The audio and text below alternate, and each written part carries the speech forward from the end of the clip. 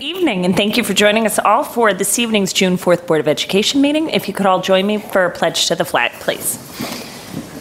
I pledge allegiance to the flag of the United States of America and to the republic for which it stands, one nation, under God, indivisible, with liberty and justice for all. Okay. Okay. We will start this evening with a report of the superintendent, Dr. Byrne. Thank you very much. Good evening, and thank you for joining us for our June 4th Board of Education meeting. Uh, we will shortly recognize and celebrate new nine, uh, nine newly tenured teachers and administrators. Um, and it's always a happy and celebratory occasion, one that the board and I look forward to every year. Huge congratulations to both the girls and boys varsity lacrosse teams. Uh, they are headed into the Final Four after they both won over Queensbury. Both schools played Queensbury this. Uh, both teams played Queensbury this past weekend. The girls will take on Fulton tomorrow, Wednesday, June 5th at 9 a.m. at SUNY Cortland. Also tomorrow, the boys play against Bayport Blue Point uh, at 6:30 p.m. in Albany. Junior Eddie Malloy competed as a member of the NYSPA Section 1 boys golf team this past weekend in Elmira, New York, and the team took first place overall to win New York State Boys Golf Championship. Junior Mila, Mila Bishelia com- competed on the NYSPA Section 1 girls golf team on June 2nd and 3rd in Rexford, New York, and finished 34th out of 109 golfers. And the Section 1 team placed second overall in the New York State Girls Golf Championship. In track news, junior Aaron Ball placed first in the high jump at the Section 1 state qualifier on May 30th and will be competing at the NYSPA Track and Field State Championships on June 8th. On June 2nd, Rye High School junior Rockland Boyceau finished second at the Eastern States Championship with a javelin throw of 167 feet 5 inches. He will go on to compete at the New Balance Nationals June 13th through 16th. Big thank you to the organizers of the Milton Fair that went off seamlessly this past Saturday. Heard it was a wonderful success. The weather was spectacular and much fun was had by all. A brief plug for the Rye Middle School art opening, and that will be taking place tomorrow evening at the School District Central Administration Building. Art from 120 middle school students will be on display.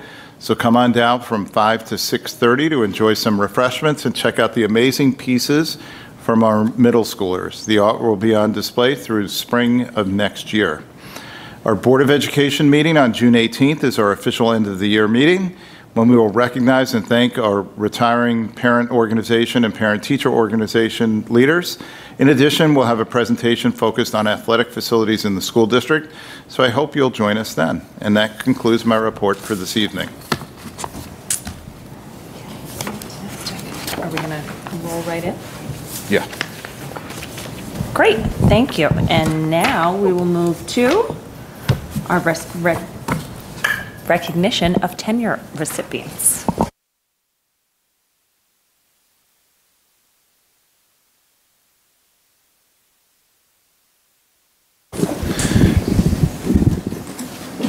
Earning tenure is an achievement that reflects years of education, practice, and the thoughtful and intensive application of knowledge and skill. Tonight, we are celebrating nine tenure recipients, seven teachers, and two administrators. In alphabetical order, teachers followed by administrators, our tenure recipients are, and we ask that you please come up um, when I call your name. Francesca Diamenti.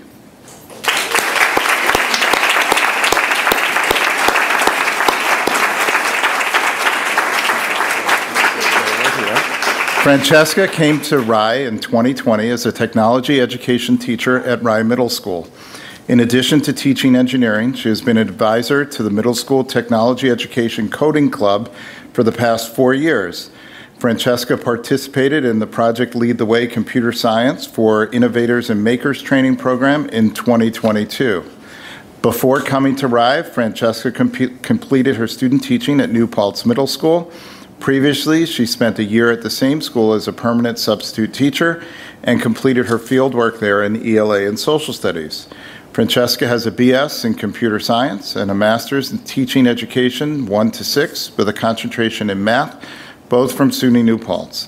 While getting her master's, she worked for four years as a programming interner at the Benjamin Center in New Paltz, which included um, numerous coding projects in a variety of languages. She is a master of 3D coding and computer aided design. Congratulations, Francesca.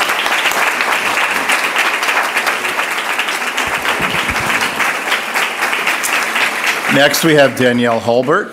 Danielle came to the Rye City Schools in 2020 as a second grade leave replacement special education teacher in an integrated co-taught classroom at Milton School. In 2021, she joined the faculty as a full-time special education teacher at Milton.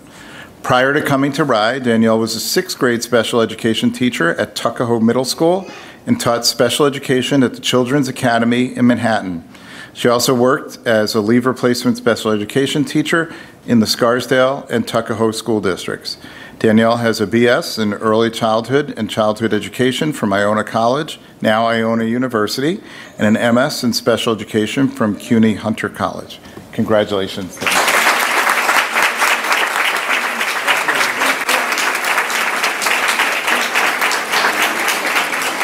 Devin Natali.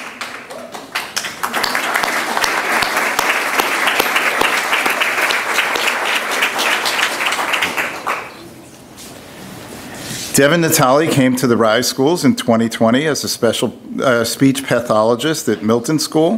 Before coming to Rye, she was a speech language pathologist, leave replacement at the Dobbs Ferry Middle and High Schools.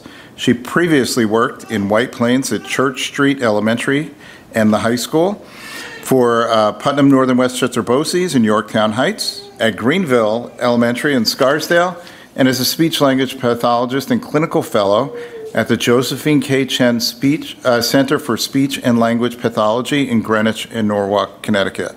She began her career as a speech and language disabilities teacher at the Orange Arc George Robinson Preschool in Middletown, New York. Devin has a BS in communication disorders, speech language disabilities from SUNY Cortland, and an MS from the Mercy College School of Education in Teaching Literacy birth through 12th grade and an MS in Communication Disorders and Sciences from the State University at Fredonia. Congratulations, Devin.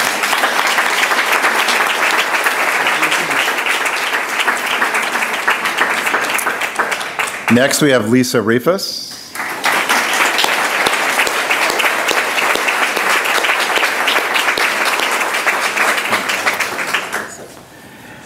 Lisa first came to Rye as a leave replacement special education teacher at Rye Middle School in 2020. She joined the faculty full-time in 2021. During the 2021-2020 school year, she participated in the project-based learning cohort number four.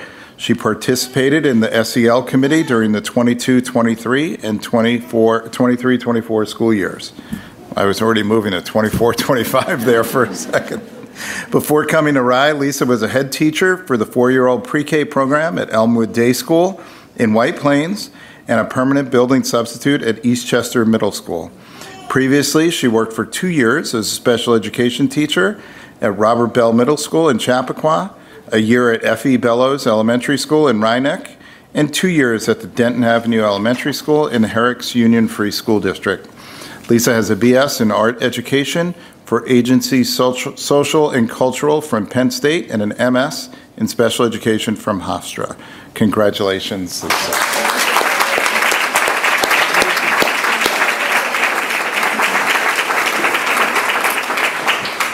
Our next person is probably the longest tenure candidate in the history of Rye, but Marie Smelzer. Mary.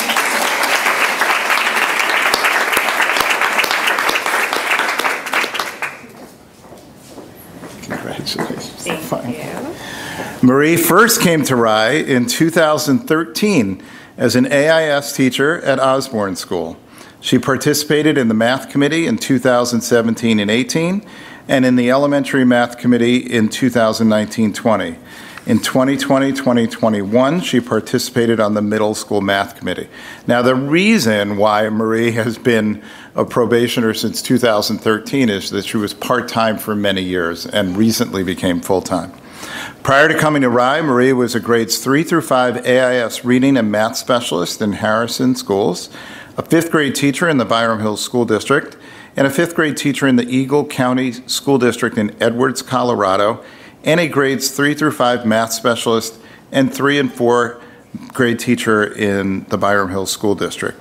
Marie has a BS in Business Administration from St. Michael's College, an MA in Teaching from Sacred Heart, and a Postmaster's Certification in Literacy, K to 6, from Manhattanville University. Congratulations.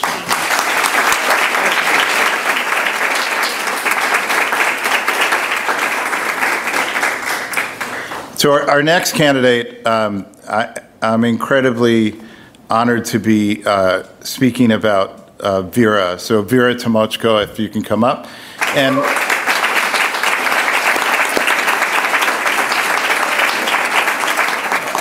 Vera is actually going to be leaving us at the end of the year, but Vera is leaving us because she's going to Ukraine to teach and be with her family. And I give her incredible credit for making that big decision and going to her home country to give back to her community during this incredibly challenging time. But Vera came to us in 2019 as a 0.6 music teacher at Osborne School. In 2020, she became full time.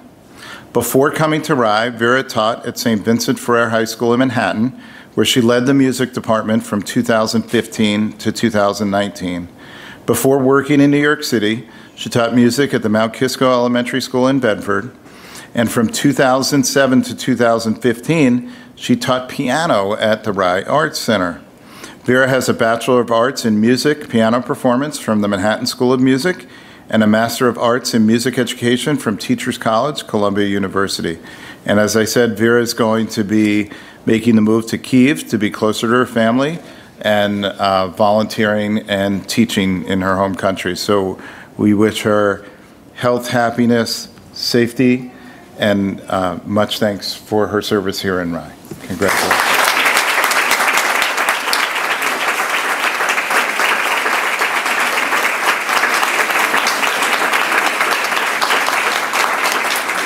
Next, we have Kristen Vietro.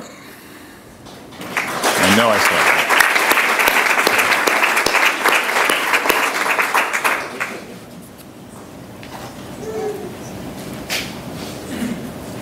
Oh, Here.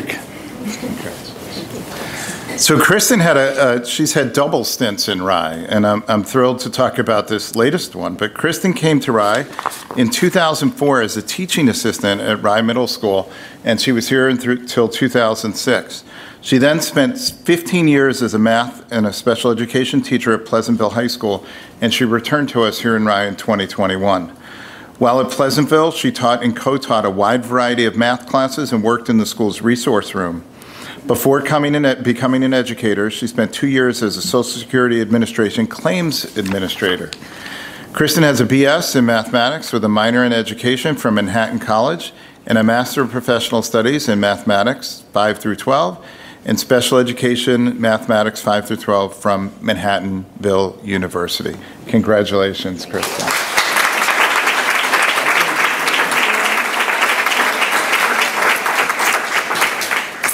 And we also have two administrators. Um, we only have one with us. One could not be here tonight, but I'll begin with Christina Brusich. Um,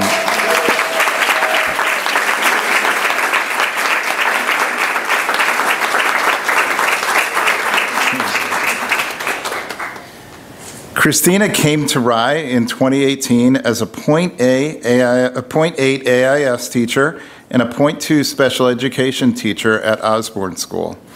Uh, it also coincided with when we were launching co-teaching in the school district. In 2019, she moved to Milton School working half-time as an academic intervention specialist and half-time as an integrated co-teaching staff developer for the district, helping to launch co-teaching at Milton School. In June of 2020, she was appointed assistant principal at Milton School. It was a very interesting search process during the peak of COVID. And I remember the interview process in the library at Milton, and all the desks uh, spread. I think at that time we were probably 12 feet apart, but it was a very interesting um, search process. Um, And it is for that position as assistant principal that she's receiving tenure tonight. Prior to coming to Rye, she spent three years as a head teacher of third grade integrated co-teaching classroom at PS 267 Eastside Elementary School. Before that, she spent two years as a third and then first grade head teacher at PS 6, the Lillie Devereux Blake School in Manhattan. She has a BA in childhood education and an MS in special education and learning disabilities from the Hunter College School of Education. She has a master's in education and educational leadership from Teachers College Columbia University and a certificate of advanced study in school district leadership from Manhattan University, the School of Education. Congratulations, Christina.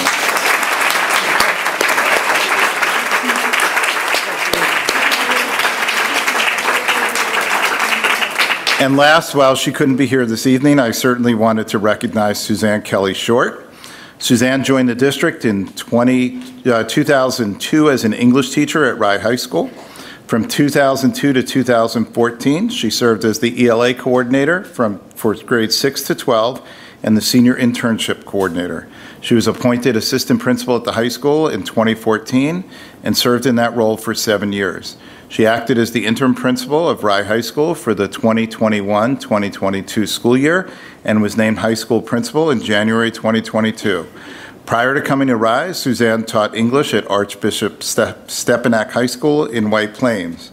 Suzanne has a BA in English, secondary education from SUNY Fredonia, an MA in English from CUNY Lehman College, and an advanced graduate certificate in educational leadership from SUNY Stony Brook, and she's currently um, a doctoral student uh, pursuing her next degree.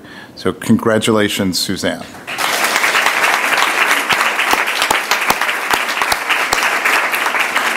So I, I do want to thank, um, lots of folks brought families tonight, and uh, surviving the tenure process and achieving tenure is quite um, an important step in the uh, world of an educator, and that would not be possible with the love and support of families and the understanding of our children um, when we have these late nights and all of these events. So thank you all for your support of our teachers and colleagues up here tonight, and congratulations to all of our tenure candidates. We're going to take some photos first. Sarah Derman's going to jump up.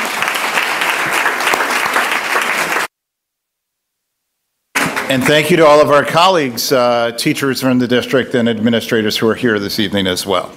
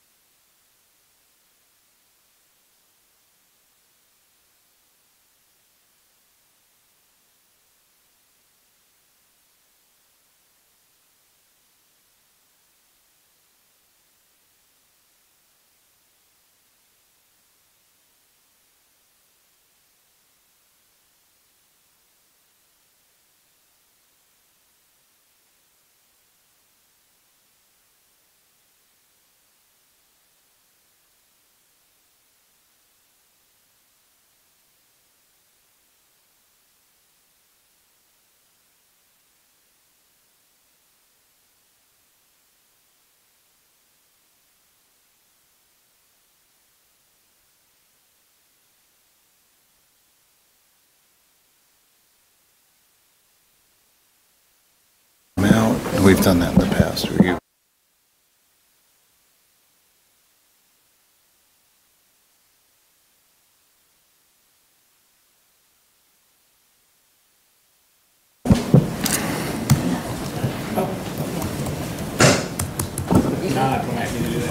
Um, Get ready. Yeah.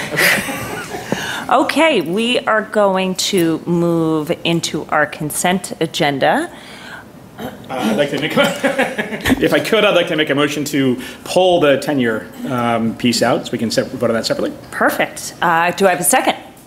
Callie Erickson, all those in favor? That's six, nothing with one absence.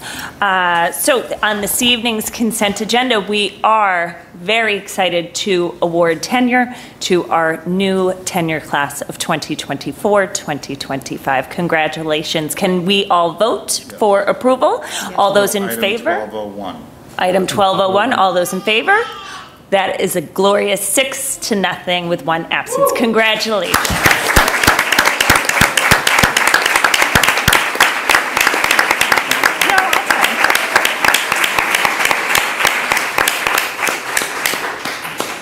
And while we are more than thrilled to have members of the public stay and enjoy the rest of our meeting with us, we will understand if at this time you choose to go home and celebrate your tenure accomplishments somewhere else. Thank you to Thank all of you you for for your coming. work and support. It, uh, it's fantastic.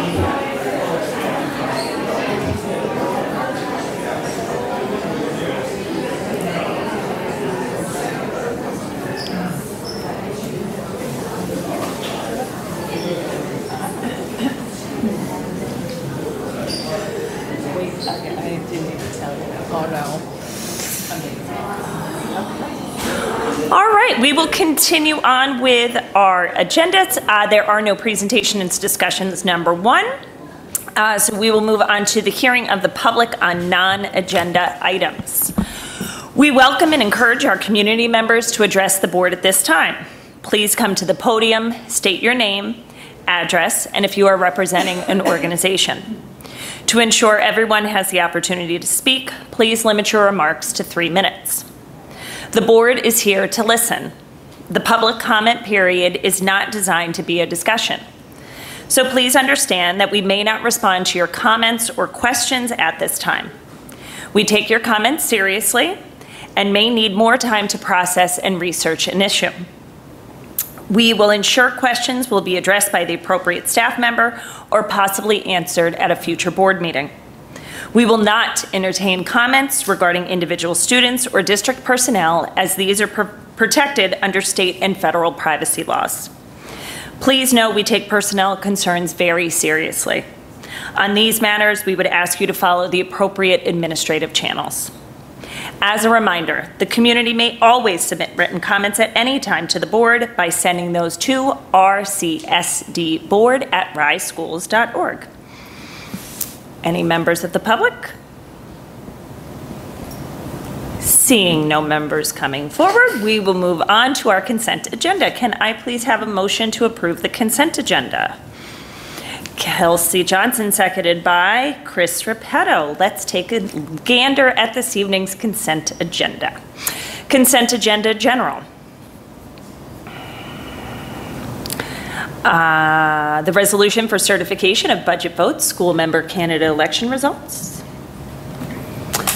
Consent agenda fiscal. Consent agenda professional appointments. Consent agenda classified appointments. Consent agenda pupil personnel services and special education. And consent agenda curriculum instruction and assessment. Seeing no questions, uh, if we could have a vote to approve the consent agenda, all those in favor? That would be six to nothing, uh, six zero, sorry, with one absence. It's not a tennis score, sorry. That was not how it went for me today. But enough about me. Let's talk about the consent agenda, shall we? Yes. So on this evening's consent agenda, we have an MOA for our collective bargaining agreement with our teachers, aides, and assistant and the Board of Education. This is a five-year contract, and we believe it's a fair contract that provides the districts and the district and the employees the opportunity to serve the students of the Rye City School District while upholding the tenets of the Rye commitment. We also have accepted the certification of the budget and trustee election results. We are grateful to the community for the overwhelming support of the district budget and subsequent support of the work being done by the staff, teachers, and administrators of the district. This budget supports our students, our staff, and the community, and the board looks forward to seeing the work that will come as a result of this budget. We also accept the contract with Edutech for the 2024-2025 school year. It's not, that's hard to get out. We are going to, we also have accepted an engagement letter from Nugent and Haxler for auditing services. I'm sure that's not how they say it. For for the year ending June 30th, 2024. We also are approving the application for the Westchester Girls Ice Hockey Team, which is a merging team for the 24-25 school year.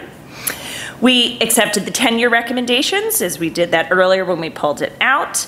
Uh, We also have approval of speakers for the Learning Institute for our teachers on June 27th and 28th. As I always say, the school year will be done, but our teachers will keep learning. Uh, So that is this evening's consent agenda. So moving on. We have presentation and discussion number two, Mrs. Boyle, Policy Review, Code of Conduct. Yes, so we, um, in our last meeting, we discussed the changes to the Code of Conduct, which are um, fairly straightforward at this point. We will be continuing to review that over um, the next several months and looking to make some additional updates to it. But currently, this um, change is to incorporate the Rye commitment into the Code of Conduct and to remove um, three other elements that are already standalone policies. So we did not have any other additional questions post the other meeting, so um, if there are no further questions, we can move that forward for adoption at our next meeting. Yep. Sounds great. Okay? Okay, so we will move on to information and discussion, which is the policy review. So Mrs. Boyle, I'll turn it to you once again. Yes, so, um, and and I'll do my committee meeting update now too. We were very busy. It's a two policy. It is a twofer. Um, we were very busy at policy, and as a result, we have um, three policies uh, up for information and discussion, and um, also an additional policy that we repealed that was earlier in the consent agenda. So I'll I'll group those together. First, um, we'll look at. Uh, policy number 4772, which is graduation ceremonies, and policy 4773, which is diploma and credential, credential options for students with, with disabilities. Um, the reason I'm grouping these two together is that the, re, the, the updates that um, were incorporated into these two policies essentially were um, updates to the age at which you can provide um, students under IDEA um, schooling. So it's up to age 22. Um, this was something that, that changed earlier this year, maybe even was in the summer. Okay. um, and so we've been incorporating it into various policies as time has gone on, and these two were the most recent. In addition, um, 4773 um, also has an additional change, which is to reflect that um, students, all students are able to um, have, receive a Career Development and Occupational Studies Commencement Credential, which is also known as a CDOS. Um, So it is not only applicable to students with disabilities, it is available for, for all students. So that was an additional update to that policy. Does anyone have any questions about either one of those? No? Okay. Um, So the third policy um, is our employee acceptable use of technology, which is policy number 8630. The, the original um, impetus for even doing this update was a, addition, a different policy, which was policy number 8330, which was what we just repealed um, at the, during the consent agenda, which was authoriz- authorized use of school-owned materials and equipment. Um, That came up as a part of our regular review of policies um, throughout uh, uh, our big spreadsheet that we're trying to get through as many policies as possible that have not been reviewed in a while. Um, and when we started looking at it, we realized not only is it um, not a required policy, but it is also out of date. And it could also be captured within the employee acceptable use of technology. So the updates that are included within um, 8630 are uh, some of those elements that existed within 8330, um, one of which is defining out our technology systems, not just to include access to the network, but also the equipment th- that is used within our buildings, so laptops, cell phones, audiovisual, all of those.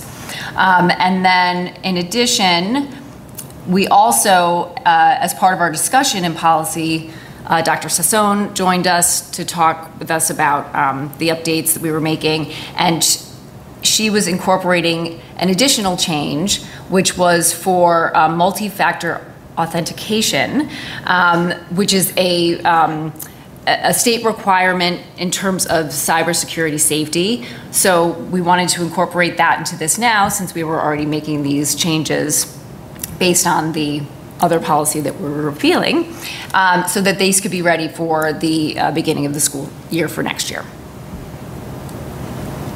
So those are the, the main differences that you'll see highlighted in green. Any other questions? No. Looks good to me. Okay. So then we can move those forward for uh, presentation and discussion at our next meeting. Perfect. Okay, That's it. excellent. And then that was everything you talked about in your policy meeting? Pretty much, yes. Okay, great. Well, then therefore, we will start our board and district committee updates. Uh, There was a policy committee, as you can see. There was also a curriculum council meeting, and I had the very wonderful pleasure of subbing in for my co-board members, so that was fun to be there. So um, at Curriculum Council, there was a discussion related to the interdisciplinary units for grades six through eight. Uh, Last year, it was just one grade level that did an interdisciplinary unit. This year, all three of the middle school grades completed an interdisciplinary unit, and that work will be continuing in the subsequent years. So that um, structure will remain in place and it will kind of do a, a build upon, as it were, with a focus on research skills. And so they'll be researching in sixth and then building upon that in seventh and in eighth all the way through. Um, it's also using the New York State or New York State Social Studies Enduring Issues as the anchor for the work um, and working on the understanding of sources being credible, reliable, intention, the intention of the source and the timelessness of the source. There was also a conversation related to the grade six elective courses. Currently, there are two.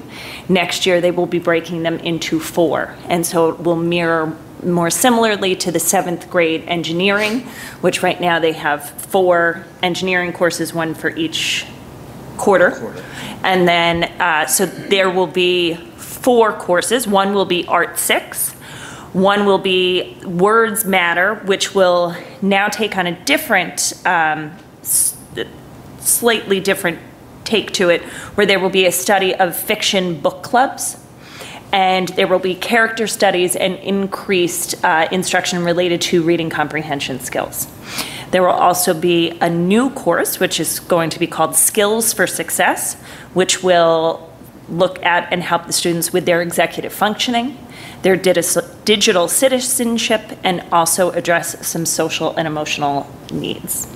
And then finally, there will be a fourth one will be passion projects, and this is something that the social studies teachers are developing, and it will also focus on research skills. And those will be set to start in the fall of 2024, which is like 11 weeks away, we heard the other day, so. seems really soon. That 11 weeks was the facilities conversation, so. Well, it's true. We'll hear about, It's not, not 11 weeks. and, and by the time Rob is up here presenting, it will be nine weeks. That's right. So, That, that summer, it's not that long. All right. Uh, the Technology Committee, uh, Mrs. Boyle. Uh, So the Technology Committee meeting unfortunately um, did not take place because there were, uh, as we know this time of year, a lot of busy people that were unable to actually um, participate. So uh, we did not have it. Okay. Uh, Were there any other meetings or information to and from the board? No? Okay. wait, I, wait. whoa, Will that- so sorry. Just, will that get rescheduled before the end of the school year? Is that the hope, or?